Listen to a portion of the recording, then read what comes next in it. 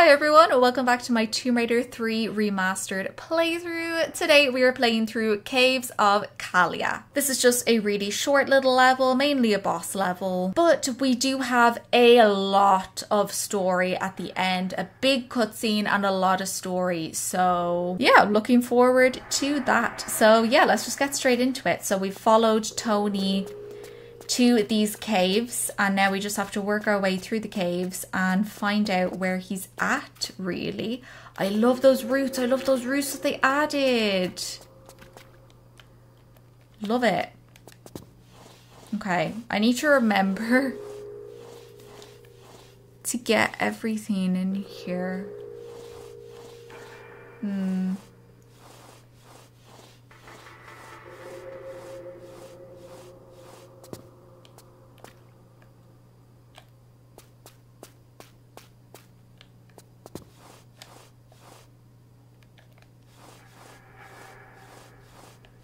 think there's a snake down one of these.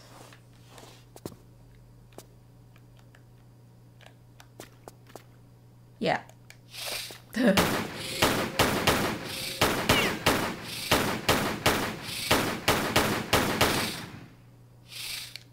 uh, I think that is literally just a snake. There's nothing there. Um, okay.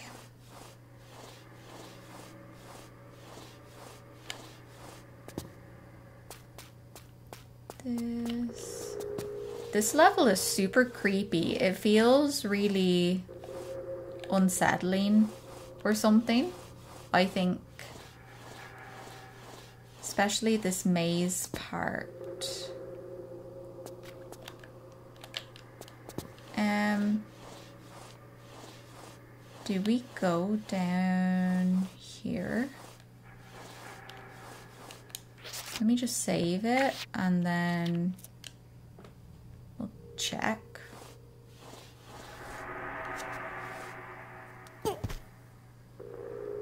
Um, oh, do you know what I think that does actually? I think that's actually a shortcut to one of the other levels. So we don't want to do that. If you're speed running or something, I think you might use that, but I want to get everything, so I don't want to use that.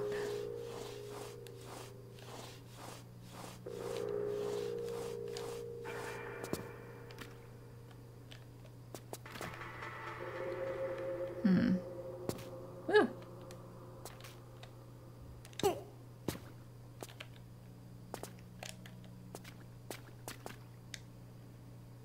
Oh, there's kind of like a squelchy sound when she she stands on the on the mud. That's really cool. Okay, so I think that is everything on this level. So now we need to find the boulder, which is somewhere over here. Not that way.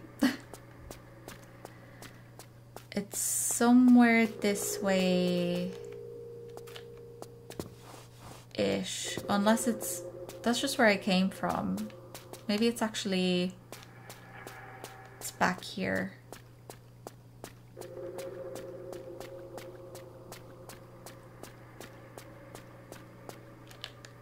Yeah, I think it might be in here. Yes. Okay. Ooh, super creepy looking. Oh, sugar. Ooh.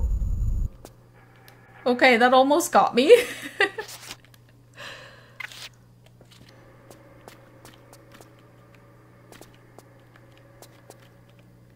Oh yeah, there's another one here.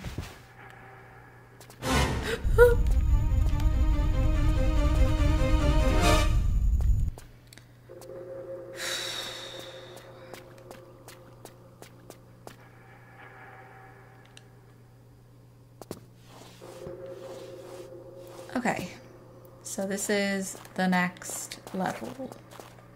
Is there a snake? Yeah, there is. Huh.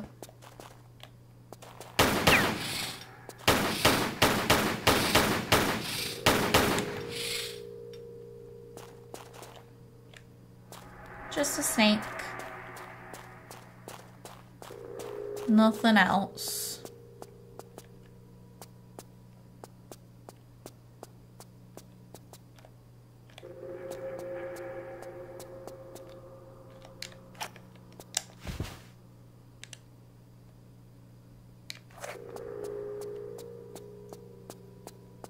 Trying to... Oh! They like pigs. Pigs on the wall.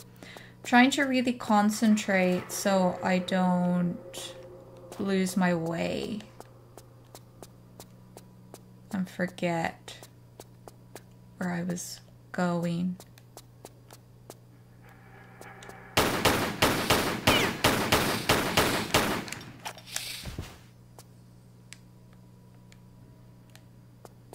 That looks like a pig, doesn't it?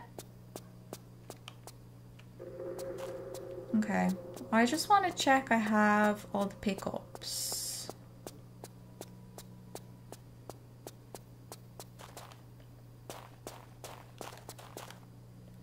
like, where did this one go? This... Oh, this is the other side of that block. I see.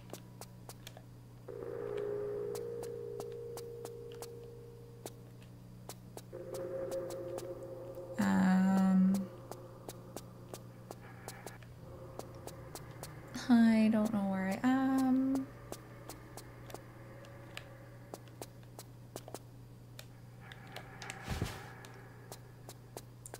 There's absolutely nothing here.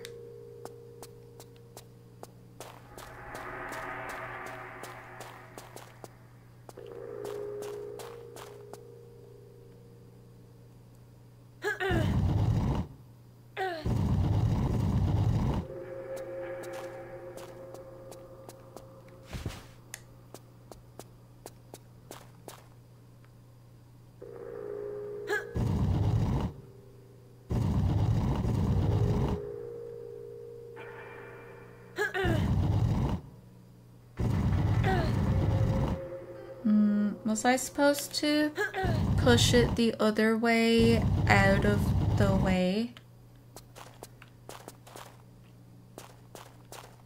I don't remember.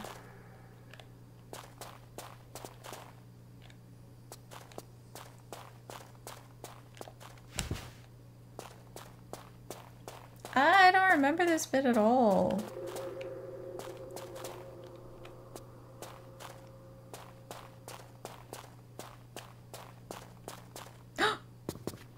Oh. Okay, I think I think I found my way.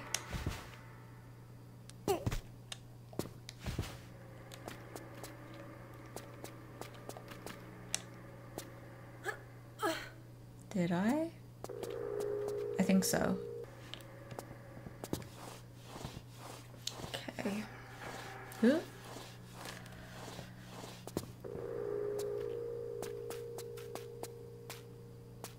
That's the exit, so let's just have a quick look around here.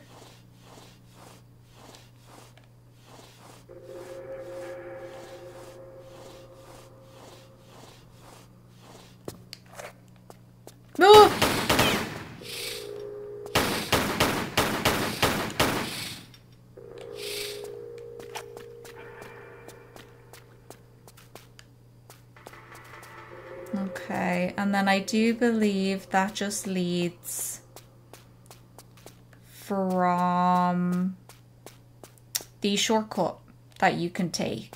So I don't think we need to go down there.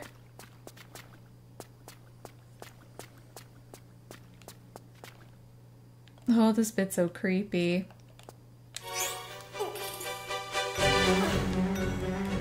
Oh, I'm gonna save it. I'm scared. Okay. So first things first, when we drop down, we have to survive the boulder.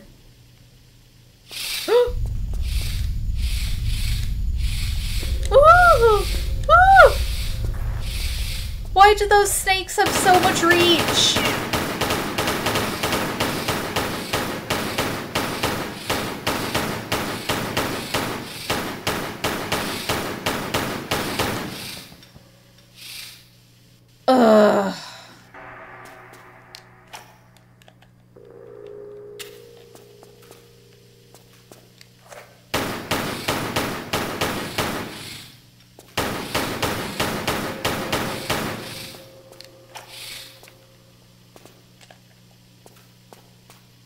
Trying not to waste flares, but... Oh!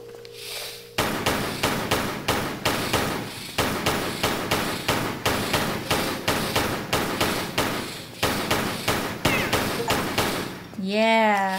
Find all of the cobras in the caves of Kaliya. Oh, that was a that was an achievement. Awesome. Great. So there was not a cobra left alive after Lara's trip through here.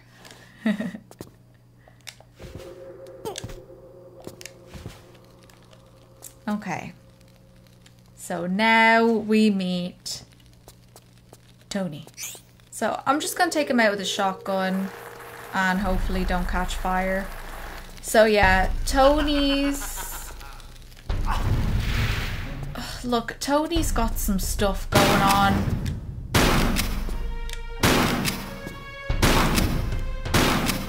Sugar.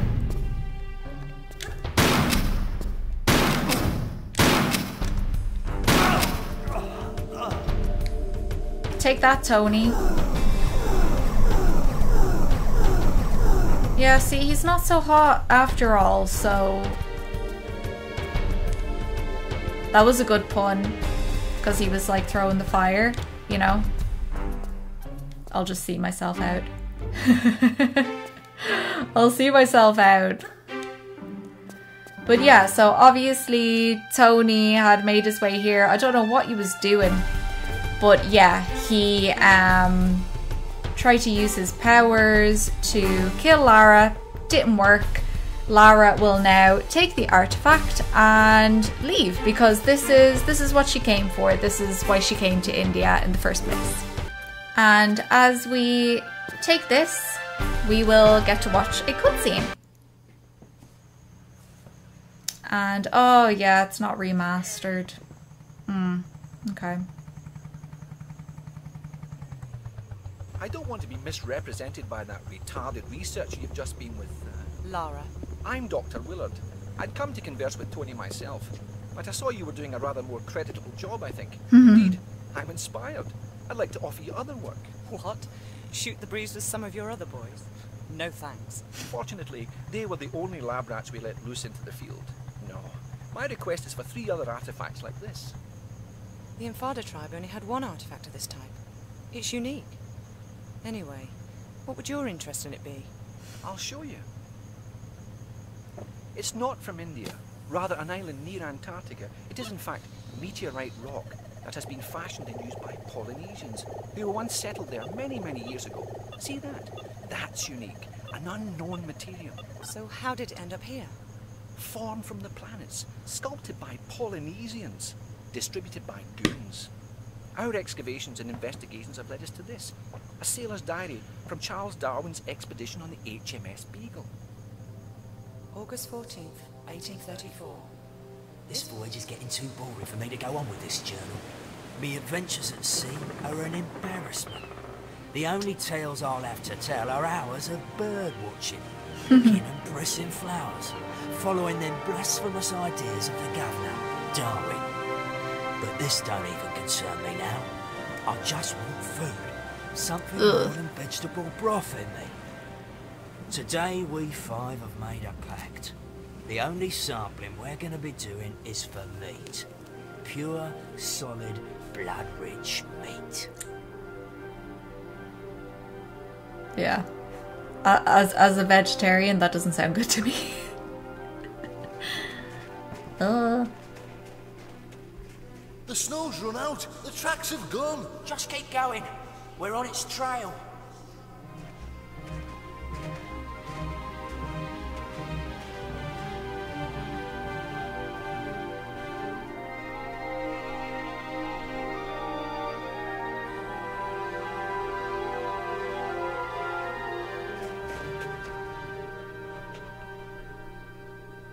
There's something here.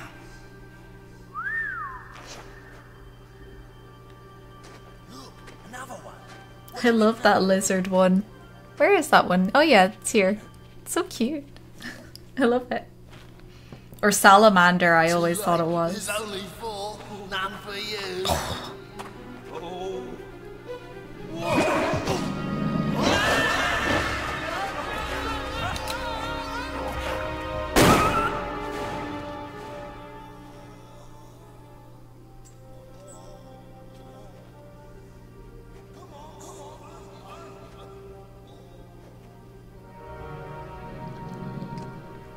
God, I hate that bit.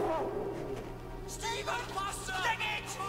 Quick! Stephen! Come on, faster!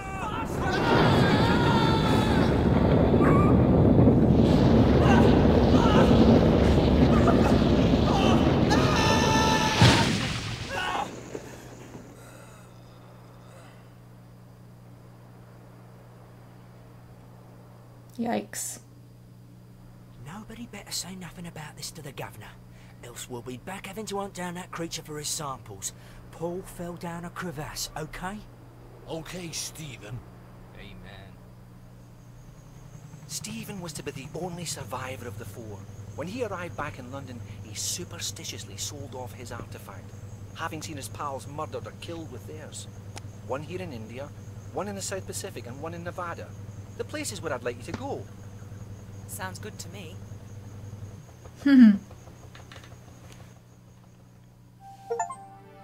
Okay, so finish the India chapter. Done! Okay, so let's, as briefly as is possible, um, go through that cutscene. So, as Lara exits the caves, Dr. Willard pulls up beside her on his boat. Willard says that he doesn't want to be misrepresented by Tony, who Willard was just on his way to have a word with. So basically, he was like, I don't want to be associated with like stupid mad Tony. He doesn't represent me or my business. I was actually on my way to, you know, give out to him basically. But he then says that he saw Lara taking care of Tony and decided to leave her to it. Willard then says he's very impressed with how Lara handled Tony. Willard then unexpectedly offers Lara a job. Willard says that he would like Lara to help him collect the three other artifacts. Lara is very confused and says that the Indian Infada tribe only had one artifact and that it's unique. Willard then informs Lara that this artifact is actually meteorite rock and it, along with three other artifacts, were carved from the meteorite by a Polynesian tribe. This is the tribe that settled at the meteorite crash site in Antarctica and built those big stone heads and everything many, many years ago. Again, we will learn more about that tribe and all of that in future videos. And I think this quote from Willard really sums up kind of what's going here. So he says, formed from the planets sculpted by Polynesians, distributed by goons. So these artifacts are from this crashed meteorite. Um, the, the meteorite rock was then taken by this Polynesian tribe who settled there and carved into these artifacts. And then these artifacts were then distributed accidentally around the world by Darwin's sailors. So kind of all these these three separate events came together to cause this to happen. Willard then shows Lara a diary that he found during his Antarctica excavations. It's a sailor's diary from Charles Darwin's expedition aboard the HMS Beagle. So, as we know, Charles Darwin was himself traveling and also sending, you know, expeditions on his behalf around the world in the 1800s to study evolution. Oh, yes, we're going down the evolution road again, just like in Tomb Raider 1. So, Darwin commissioned this group of sailors to travel around the world and collect samples on his behalf. So, Darwin, I don't believe, was with them on this expedition, but they were on his behalf traveling around collecting all these samples to then bring back to him so he could study them. We then cut to a flashback where a sailor named Stephen Barr sits aboard the HMS Beagle on August 14th. 1834. In desperate search of food, Stephen Barr joins a group of four other men who leave the ship for a nearby island. And they are hoping to find some meat on this island. They are hunting. They follow wolf tracks into a cave. And the five men enter a large cavern and find the four meteorite artifacts there left behind years and years and years ago by the Polynesian tribe who did live there. As I said, We'll learn more about that and why they abandoned everything and all of that in later videos. So each of the four other sailors picks up an artifact and then Paul Caulfield starts teasing Stephen Barr saying that there's only four stones and there's none left for Stephen. As Paul Caulfield taunts him, a wolf attacks from above and rips Paul's throat out. Stephen shoots at the wolf and it runs away. As Stephen grabs Paul to try and leave, the wolf licks Paul's blood off of the ground. I presume this is to like get a taste for it, uh, get a taste for the scent, all of that kind of thing. The wolf then attacks, and just as it does, the cavern begins to cave in. The wolf is impaled, and Stephen and Paul take an ice slide outside. And I'm not gonna lie, that actually looked pretty fun. it looked pretty fun. When they land, Stephen realizes that Paul is dead. Stephen and the other sailors then bury Paul, and Stephen takes Paul's meteorite artifact. They all agree to lie and say that Paul fell down a crevasse so that they won't have to hunt down the wolf and collect its samples that attacked him. Basically, they don't want to do extra work, they just want to bury Paul and get out of there. And so that is the cross that um, Dr. Willard and his research team dug up in the opening cutscene of the game. That's where it said, you know, Paul Caulfield, 14th of August, 1834 HMS Beagle. So each of the remaining four sailors took a meteorite artifact each. Each? I don't know why that came out so weird. And then they continue on their sample collecting voyage across the world. The sailors then travelled to other locations, including Nevada, India, and the South Pacific.